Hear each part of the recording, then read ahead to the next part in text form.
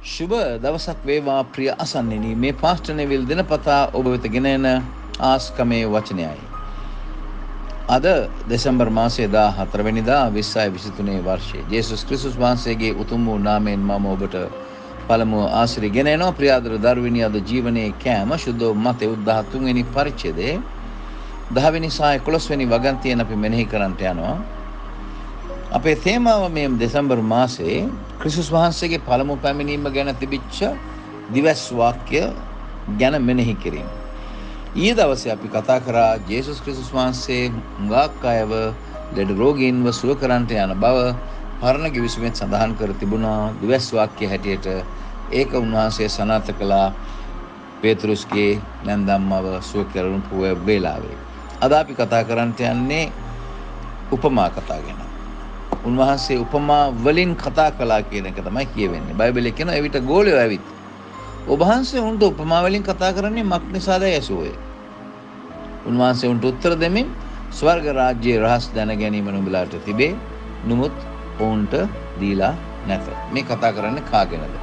ජුදා ජාතිය ගැන, ජේසුස් ක්‍රිස්තුස් වහන්සේ මෙසායා කියා විශ්වාස නොකරන අය ගැන, අපි ඇයට පරිසවරු කියන මුළු බයිබලේ දැනන් හිටියත් මුළු තෝරා පොතම දැනගෙන හිටියත් මුළු පළවෙනි පොත් පහ හොඳට දැනගෙන හිටියත් ඒත් ජේසුස් ක්‍රිස්තුස් වහන්සේ උන්වහන්සේ දෙවියන් වහන්සේගේම පුත්‍රයා බවට මේ පොළොවට එන බව ඒ වගේම ජේසුස් වහන්සේ තමයි ඒ පුත්‍රයා කියලා එය විශ්වාස නොකරන අයට ඒක අභිරහසක් වෙන්න යන බව තමයි උන්වහන්සේ ප්‍රකාශ කළේ. මොකද උන්වහන්සේ කිව්වා ස්වර්ගරාජ්‍ය රහස් දැන ගැනීම නොබලාට දී තිබේ. ඒ කියන්නේ ගෝලයන් වගේ අයට, අපි වගේ අයට, විශ්වාස කරන අයට, ඇදහිලිවන්තයන්ට අපිට දෙවියන් වහන්සේගේ රාජ්‍ය රහස් දැනගන්න අපිට ලැබෙනවා.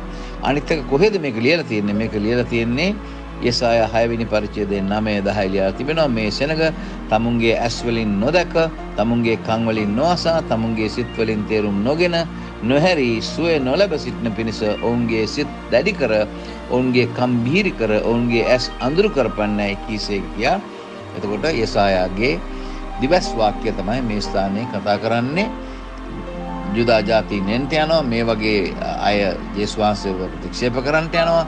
ඔවුන් විශ්වාස කරන්නට යන්නේ නැහැ මෙසායාව ගැලවුම්කාරයව. ඒ නිසා ඒ අය අහනවා අහනවා අහනවා වැඩක් වෙන්නේ නැහැ, පේන්නේ නැහැ.